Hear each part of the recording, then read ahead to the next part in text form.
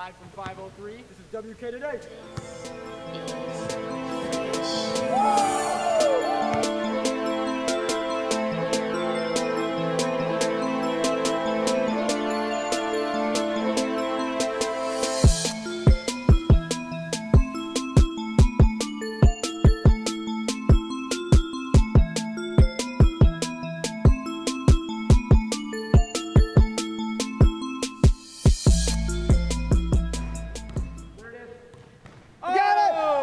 I!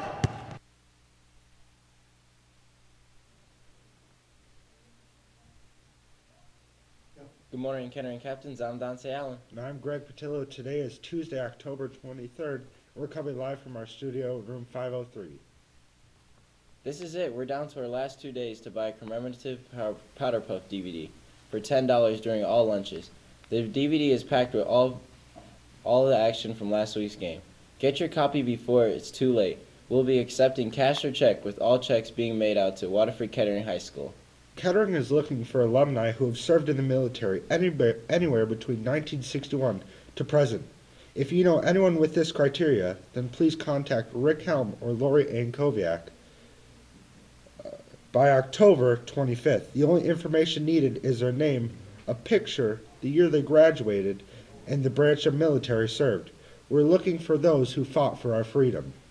Attention all FCCLA members. There will be a meeting in room 511 immediately after school today. Snacks will be provided, so be there and get in on planning with your fellow members. Please remember that dues will be turned in this week. Did you miss your cupcakes last week? Well, fear not, because Cupcake Friday is back in action this week with one of the all time favorites, Oreo Cupcake. The Oreo Cupcake has an Oreo baked inside with cookie crumbs on top. You can get yours for only $1 during all lunches. Tomorrow's National Food Day. Waterford School District will be celebrating National Food Day by holding a farm to school event. All Waterford school lunches will feature fresh produce and local Michigan food. Farmers from the Oakland County Farmers Market will be setting up a mini farmers market in Sandburg Elementary School. This mini market will be set up from 11:30 a.m. to 12:30 p.m. and will feature some of the finest and freshest produce from around Michigan. If all this talk about food is making you hungry, then fear not, because today's lunch menu consists of apple cinnamon toast with a side of scrambled eggs and a choice of fruit or veggie or tubby sub. Tomorrow there will be chicken twister or Wisconsin mac and cheese. With all the new additions to Kettering's building, there are also a couple of new faces to, to go along with the, those changes. Austin Slaybaugh and Sean Hutzel caught up with Tyrone and Mr. Williams.